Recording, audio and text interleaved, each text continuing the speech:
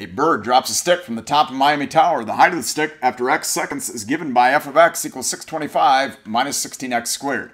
Select all the correct interpretations of the coordinates of the point at the maximum of the function f of x. So the graph of f of x equals 625 minus 16x squared is in the shape of a parabola. It's a U-shaped graph opening downward.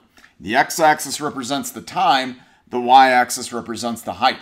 So the point at the maximum of the function f of x is the vertex of the parabola, or the turning point on that parabola, the highest point that that parabola reaches.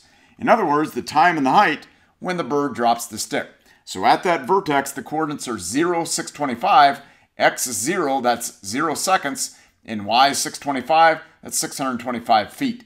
So all of the correct interpretations here include letter B, the time when the stick is at its highest point, letter C, the height of the stick when it is dropped from the top of Miami Tower, and letter D, the time when the stick is dropped from the top of Miami Tower. So correct answers here are B, C, and D. Keep your head down. You wouldn't want that bird to drop that stick or anything else for that matter on your face.